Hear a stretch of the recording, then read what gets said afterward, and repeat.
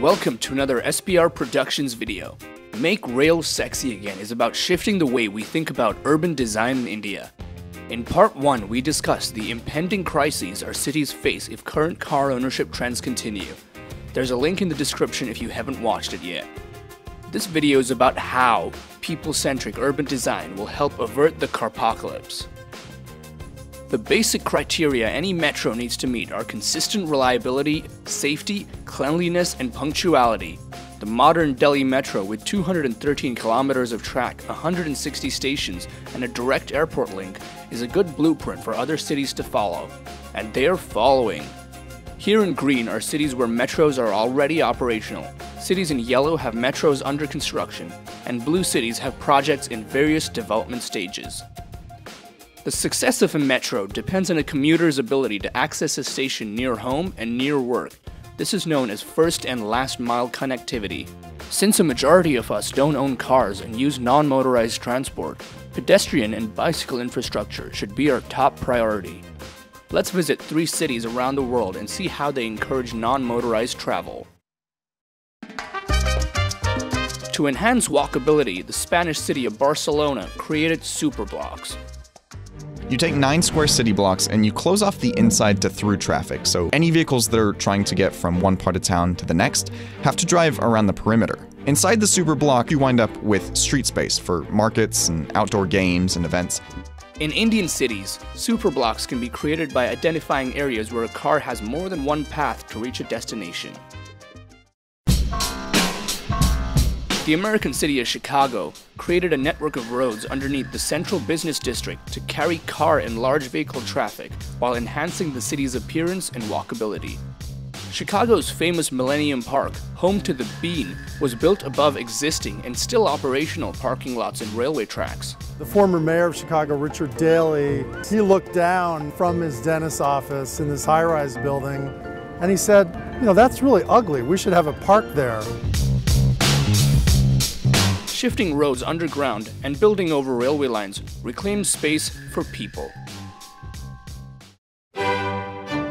Amsterdam in the Netherlands is a world leader in bicycle infrastructure, and many of their ideas can be incorporated in India.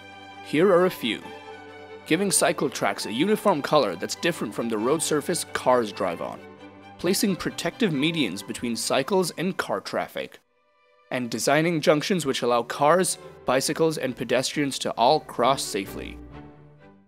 These ideas we just described involve repurposing land, which avoids the complex and expensive process of land acquisition. So, how are we going to pay for all this? Raising passenger fares has always been unpopular, so historically the freight transportation profits have subsidized passenger travel. This practice meant there was very little left over to expand freight capacity, and the railways lost market share to the roads. Now the railways are looking to boost non-fare revenue. The Indian Railways control prime real estate across the nation, and they plan to lease it to private developers who can transform the space into iconic multi-purpose destinations. नीचे train चलती रहे ऊपर five star seven star hotel बना दो उसमें से income करो और रेलवे को अच्छी करो Here are some of the proposed designs for the railway stations.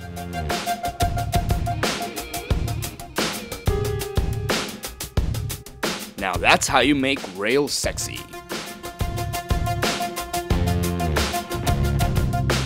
On the cost side, renewable energy to power the network will cut electricity costs, while network electrification will reduce their fossil fuel bill. Another method of raising revenue for public transit development is to end the invisible subsidies on cars. Subsidy number one parking. Very rarely do cars and trucks pay for parking on city streets even though they occupy space that pedestrians and cyclists need. Paid parking zones, strict rules, and better enforcement can end this subsidy. Subsidy 2 Congestion. In areas with limited space, congestion charges, like the one implemented in London, can ensure car owners pay for using the scarce space in city centres. Time based tolling, which increases toll rates during peak traffic periods, increase the cost of driving when demand is high. The third subsidy is cars' environmental impact. Pollution costs the nation between 3 to 8% of our GDP due to serious health consequences.